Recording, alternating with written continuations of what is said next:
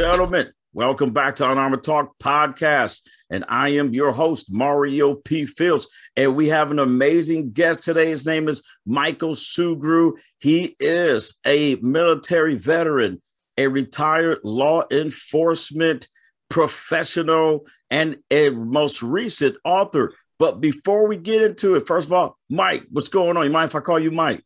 Absolutely. Yeah. Thanks for having me on. Nice, my friend. But before we get into this amazing guest who's re- willing to remove his armor to help other people develop a accurate way of thinking, I want to thank you all. You guys, you know, every episode, every couple of weeks, you guys get to hear me or see me, depending on which choice you use to get a little taste of Mario P.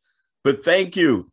We are just we continue to grow in cities across the world and territories and countries. You guys keep watching the videos on the YouTube channel and subscribing. Subscribership just keeps going up. Can't do it without you guys. Again, I will thank you every episode until you tell me to stop. Robert and Miriam Norris, they sponsored this episode, but they're more than just a sponsor, guys. Check them out. Take charge your health.usana.com. Again, even Michael said, Mario, you look pretty young. Hey, I got to give at least some percentage to, to my coach, Robert and Miriam, the minerals, the CellSentials. Guys, get some if you can. Even though they're the sponsor, even if they weren't sponsoring it, i still be taking them. yeah. And last but not least, last but not least, again, thank you all again. Not even last but not least, I can't thank you enough. This podcast is doing amazing, and it's because of you all. Enough from Mario P. Fields, your host. Let's get to why we all are here today. Michael, talk to us, my friend. Welcome. What's going on? Man, I'm still five foot two and a half and shrinking. How about yourself? I'm doing good. Enjoying the weather out here in California. SoCal, you're SoCal, man? Uh, Northern California, actually, just uh, north of San Francisco Bay Area. Oh yeah, wow! Still, still beautiful country. You know, I just came from there, and and my, my pockets didn't like it. But other than that, man, I enjoyed the heck out of California, my friend. Yeah, um, it is expensive, but the weather, the geography, the people, they're all great. I hey, I enjoyed it, man. Well, hey, let's jump right into the topic. But before we do that, can you tell everyone a little bit about yourself? Absolutely. I try to keep it as short as possible, but I'm actually originally from the Bay Area here in Northern California. Wow. Was raised up. My parents got divorced when I was eight. And that's when a critical thing happened. My stepfather, he came into my life and he was in law enforcement. And mm. actually, at that age, is where I got the first bug to pursue a career in law enforcement. I was actually a police volunteer, if you can believe it, for the Sausalito Police Department at eight years old. Wow. I know, right? And like, man, I had a laminated ID card. I was riding the, the parade with McGruff. And uh, that's just where I saw the family, the camaraderie, and I and I saw that this is something I want to be part of. Right. And so I, I carried that on. In high school, I was a police explorer for the Richmond Police Department, which is also here in the Bay Area, very dangerous city. Um, my father had changed agencies, and I already decided that you know what I was going to set myself up, start studying criminal justice. I was going to go to college. Uh, my original plan was I wanted to go in the FBI. So I knew, with that being said, I needed more than just a degree. So. I decided to actually pursue a scholarship through the Air Force, and I got a full scholarship to California State Sacramento University. Nice. Majored in criminal justice, and when I graduated in '98, I got commissioned as a butter bar or a second lieutenant in the Air Force, and I yes, got security. Yes, yeah, and I got security forces, which was my first choice, and that's right. basically military police, you know, anti-terrorism, force protection, air base ground defense. And I did that. My goal was to do four years, but things happened, things changed. I got offered Germany. And so I was over there. I extended, and that's when 9 11 happened. Mm. Short time later, I was in the Middle East, and I ended up staying six and a half years active duty. And, and thankfully, my last duty assignment was back here in California at Travis Air Force Base. Nice. And I started transitioning out, started applying to law enforcement agencies, and I got hired um, literally while I was still on use or lose. So I was still technically in the Air Force and I started the police academy, graduated December 2004. And that's where my civilian career took off. And I worked for a city called Walnut Creek, which is about 15 minutes outside Oakland, California, or about 20 minutes outside San Francisco. Nice city in the burbs, you know, pretty upscale. Um, went through the ranks. I was a FTO within a year and a half, field training officer. Mm-hmm. Eventually was detective. I was undercover on a state drug task force and eventually was promoted eight years on as a patrol sergeant. And that's literally where my whole life changed. Uh, two weeks into my patrol sergeant duties on my second solo shift, I was involved in a fatal shooting mm. where literally a man with a butcher knife was trying to kill a couple and try to kill myself and my partners. And that incident literally forever changed me. It changed my path. Eventually, I medically retired in 2018 for post traumatic stress injury, what I like to call it, PTSI. Oh, yeah. And uh, now I'm on this mission of literally trying to smash the stigma of talking about this stuff, about mental health, talking about feelings, you know, talking about the fact that we need help at times. Yeah. And that's truly my mission is trying to save lives and trying to educate people, not just military and law enforcement, but literally showing the entire world, you know, people on the streets who we are and that we're human and that we have feelings, we have issues just like everybody else. Right. No, and I I appreciate and what an amazing journey.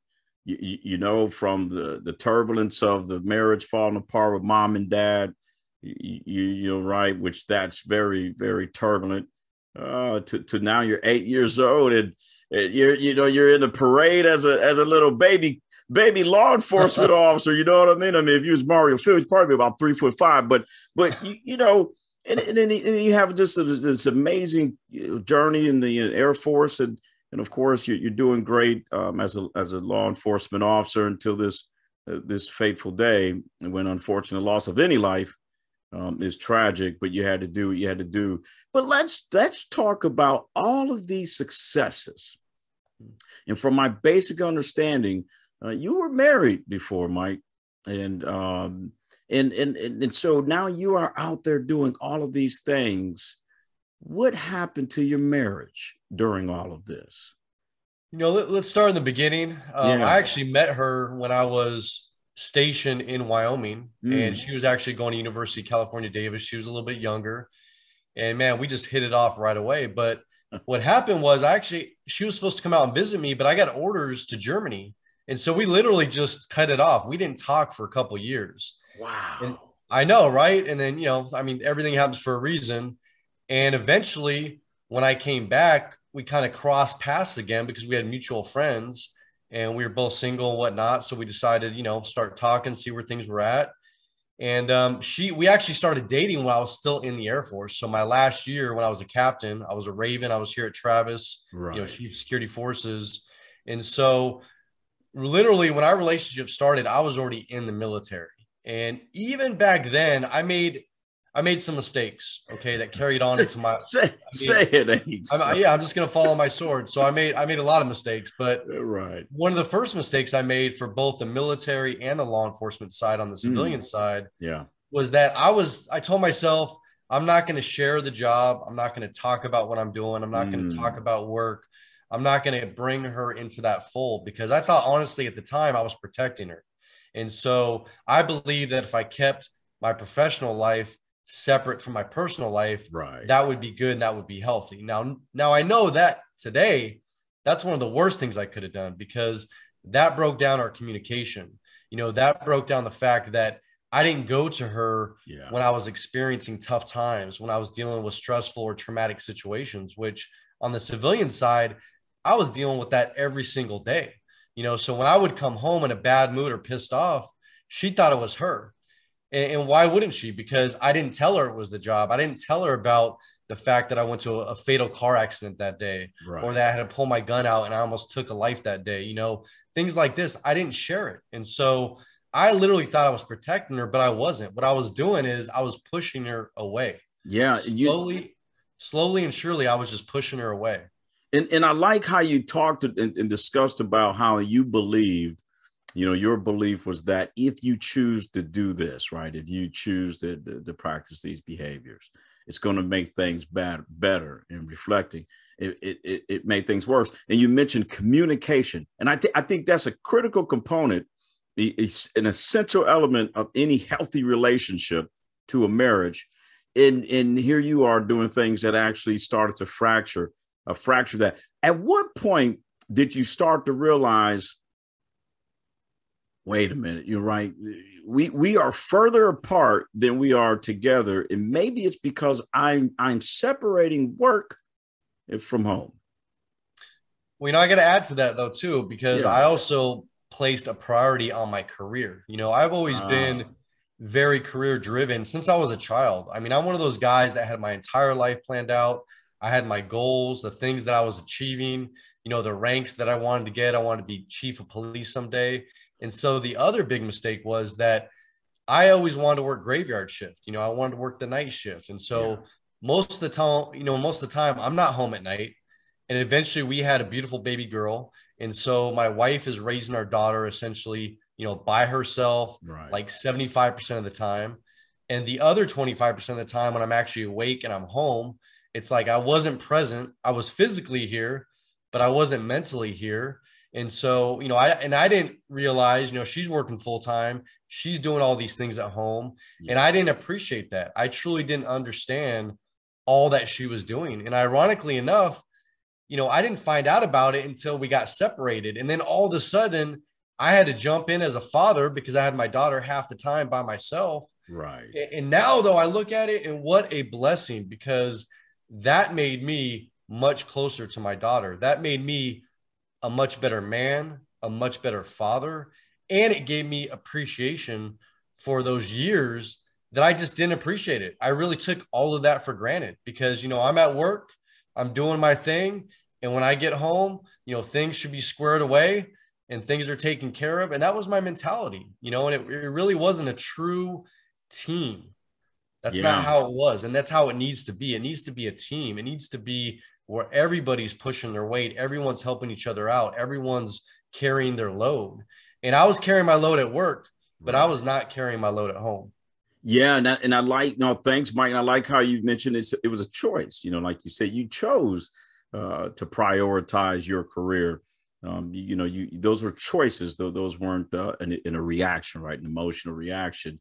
And and and I believe that we have a lot of listeners and viewers on on on our Talk podcast that may not even realize, like you said, they might may not even realize that their priorities is their priority. It is not mutually supporting whoever's in their relationship, or nor have they even asked, how do how do you feel about me realistic or taking this promotion to uh, you know to Northern Europe or somewhere? And uh, and then I love how you say, looking back, you know, it was a crisis moment, but it created an opportunity for you to improve, um, you know, as a father. Can you talk about one or two things that you did improve upon when that happened? You know, the thing was is like I just truly appreciated the time with my daughter, like yeah. the simple things. Like I mean, mm. things like you know, giving her a bath like helping her with homework, you know, taking her to school, going shopping with her, you know, for whether it's clothes or food, these basic everyday things that we do. But it just, you know, gave me this appreciation. I was scared. I, will be honest with you. I was scared. I mean, I, I, wasn't scared on the job. I wasn't scared down range or on the street.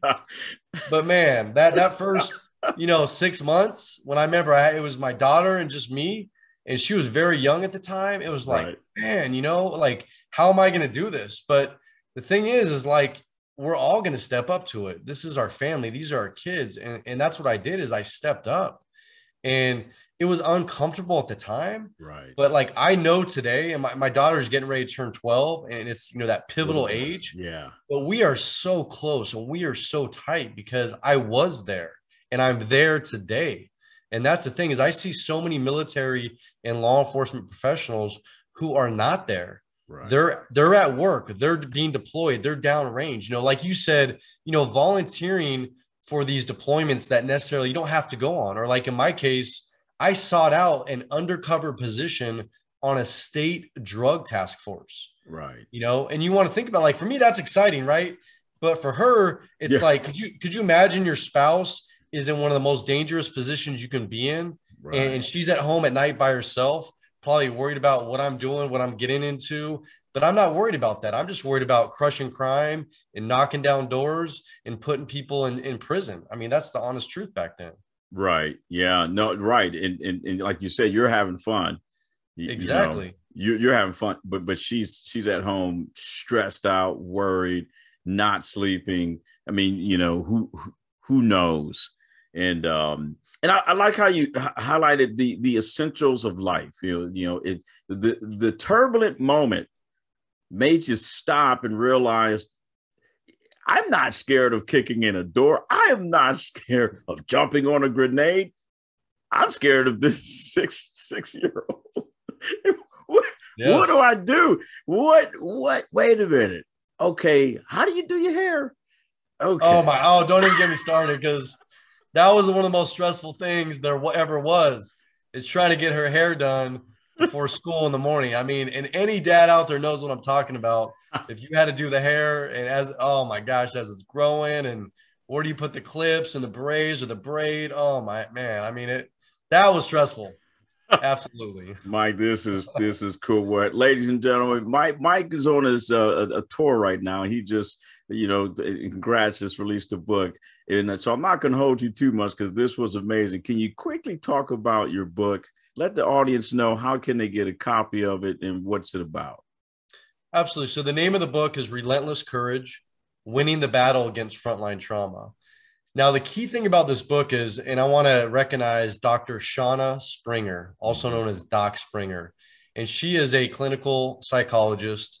She's worked with combat veterans and first responders most of her career. So she is a, a truly trauma informed, culturally competent clinician. And this book happened because of her. And she is my co-author. And so this this book is very unique. There's to my knowledge, there's not anything like this out there. And to kind of give you a brief synopsis, is there's about 15 chapters.